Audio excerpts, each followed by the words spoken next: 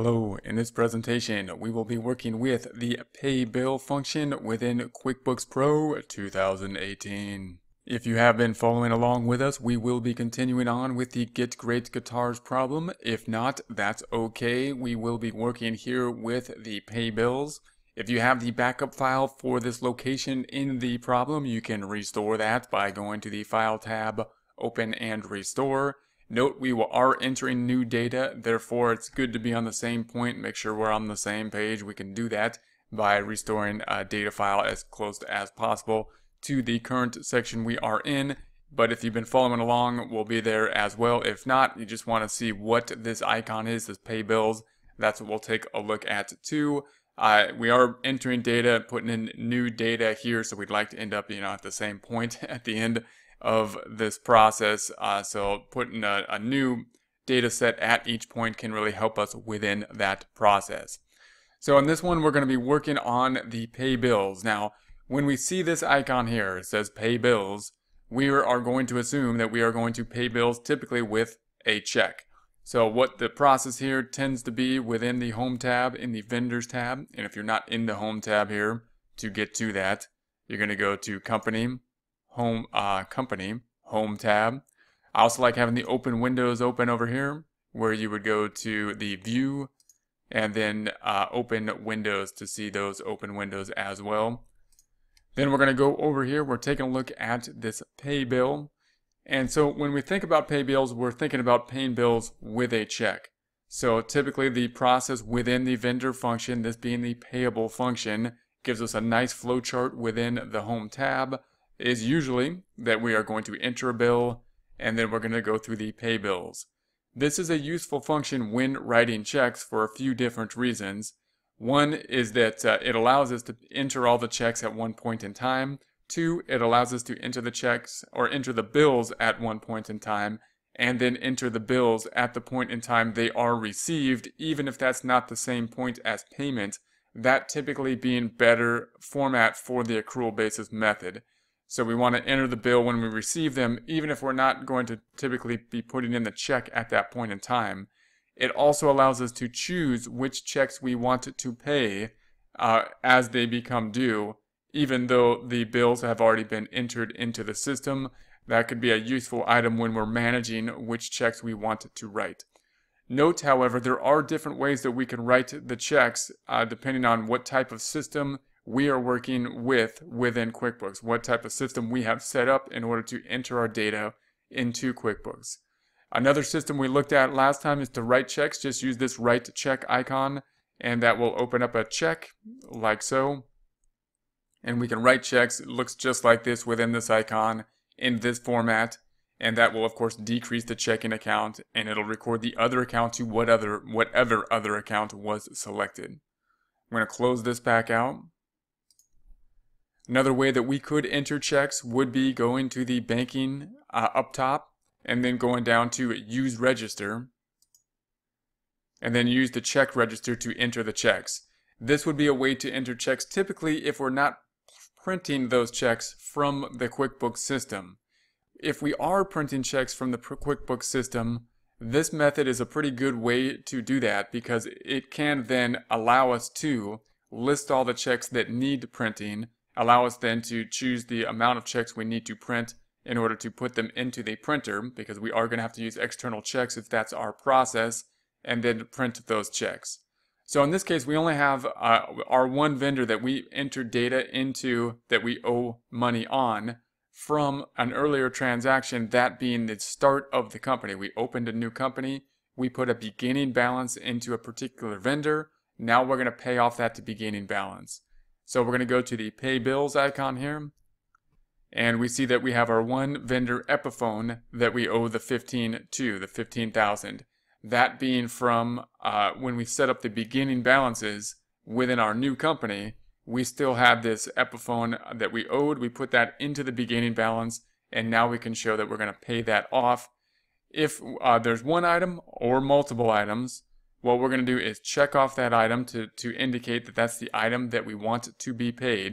Also note that there's going to be a couple options we could look through here. If we say that show bills, show bills, we typically show all, or I would typically look at all But if we have a lot of bills in here and we want to limit the amount of bills we're looking through, we might just want to limit it to the due on or before a specific time period, that giving us a, a better idea, a better quick view of what we want to look at. We can also uh, use some other filtering options and sorting options. Again, if we had a lot of, of bills in there, those could be useful for us to decide which, which ones we're looking to pay at this point in time. If we tab through this, we're going to check off that this is going to be the item we will be paying. This is going to be the due date in accordance with what was set up. In this case, the beginning balance was set up in this format. We have the vendor, we have the amount due, and then we're going to have the amount uh, to pay, which will be the same in this point at this time. We have some other uh, options down here. The clear selection, of course, would clear everything that has been selected in terms of this one check that we have at this time. We have the go-to bill, the set discount, and uh, the set credits. We're not going to be dealing with any of those options within this setup. We have the payment date. That's typically going to be the current date that we're, of course, writing the checks at. We, however, here are writing the checks as of a future date. That date will remain, in this case, uh, January 28th of 2021. That date being from the prior transaction we did within this problem.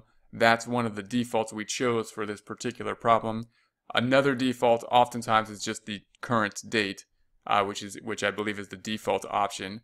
Uh, we chose in this case to keep the prior date as one of the defaults because we're working in the future in a problem such as this. We then have the method. Uh, in this case, we're going to have a check versus a credit card. Then if you were to print these checks, you'd want to put keep print checks here you'd have to order the checks outside of QuickBooks. So you'd have the pre-ordered checks that we'd have outside uh, that, that would have our check numbers on it and our bank account information. We'd have to then put those checks into the printer in the proper format. And then once we record this, it will generate those checks and print those checks from those pre-printed uh, format. You, you got to have the pre-printed checks. One reason is just another check figure on our internal controls having those check numbers on the pre-printed checks gives us a really good internal control. In our case, we're just going to assign the check number. We're not going to go in and um, actually print the checks. So we're going to choose assign check number. Now, as you do that, you want to you want to make sure you have the, the right check number. You would think the the system would just kind of uh, pick the next check in order when we say pay bills but uh, it, it makes us manually put in that check number. So we want to make sure we have the checking account selected, this being our major che checking account typically. And then once we select the pay selected bills, if we assigned a, a check number, then it's going to ask us what that check number should be. So if I select this right now, for example, it says, uh, let me assign the check number here. Let QuickBooks assign the check number. Uh, so if we select the default here, it'll most likely go to the next check. If I select this option, then we can manually put in the check number. If there's multiple checks, then it'll start from that check number and continue on with those checks. So if you don't know what that check number is and you want to double check it, you got to close this. We could go to the check register and see what check number we are on just to make sure it ties out to our our checkbook. If we want to, we have to close this out so that we can open the register. So I'm going to have to enter this data back in, which is just basically checking that box. So we're going to close this out. And I'm going to say uh, we're not going to save it at this point. We're just going to re-enter the data. Then go to banking. Then go to use register. We got the checking account. We're going to select the checking account. And the only thing we're looking for, we're saying there's the last check. So that means we are on check uh, 1010, 1010. That's going to be the check number we want to make sure is assigned next. So we're going to go ahead and say close this. We're going to go back into pay bills.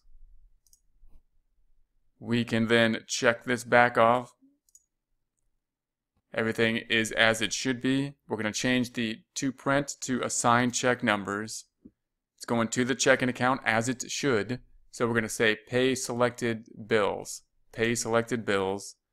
And then we're going to assign the check number, which will be 1010. What we just saw was the next check number in our series. The check date is correct. The payee is correct. So we're going to say, okay, when we record this, it should write a check that should appear in our check register, should decrease the uh, checking account balance. It should also decrease the amounts owed to this particular vendor, Epiphone, so that would decrease the accounts payable.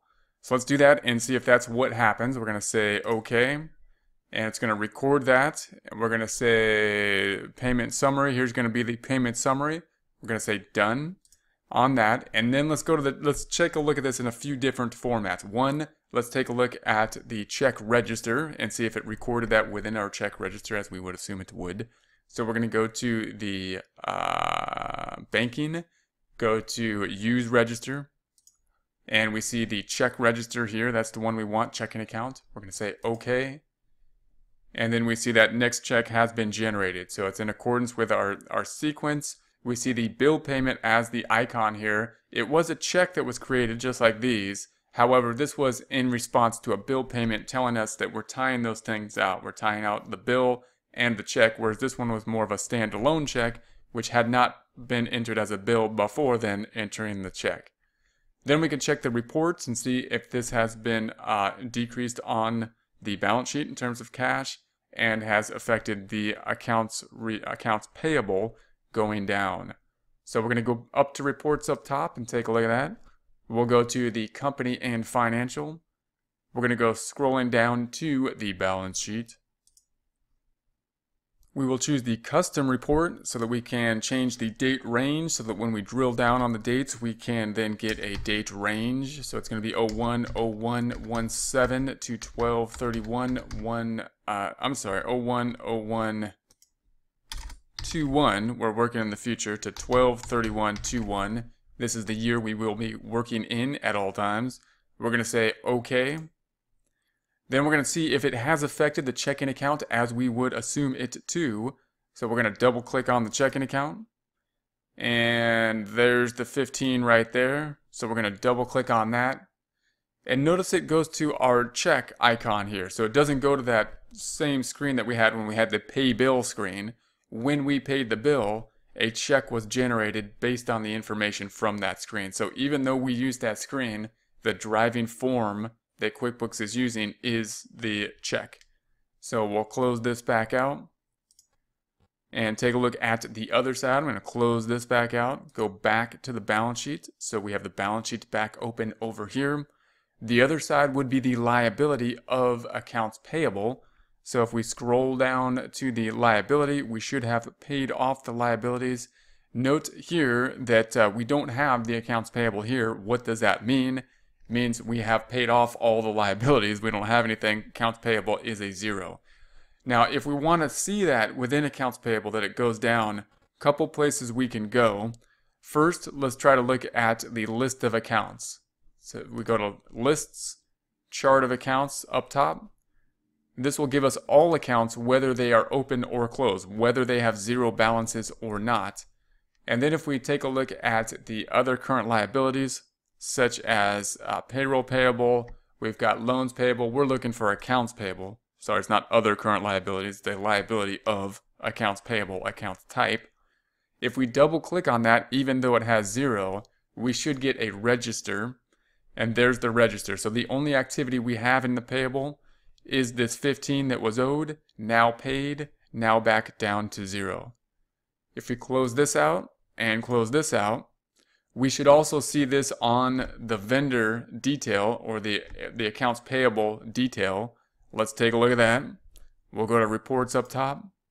We're going to go to vendors and payables and we're going to see the vendor balance detail. Vendor balance detail. Change the date range. Well, we don't really need to change it. It's going to, it's going to show all the activity that we've gotten so far. There's what was owed due to the beginning balance we put into this particular vendor. Here's the payment that we made. Double clicking on that, we see that check once again. If we close this back out, close this back out, I'm gonna go back to the home page. So that once again is the pay bill item. Pay bill typically being used after the bills have been entered Pay bill is a format of generating a check, typically a check that we will write either through the system within QuickBooks or assigning a check in order to record the decrease in our checking account so we can enter this data within the system, hopefully reconcile then the bank account using that data and create the financial statements with it.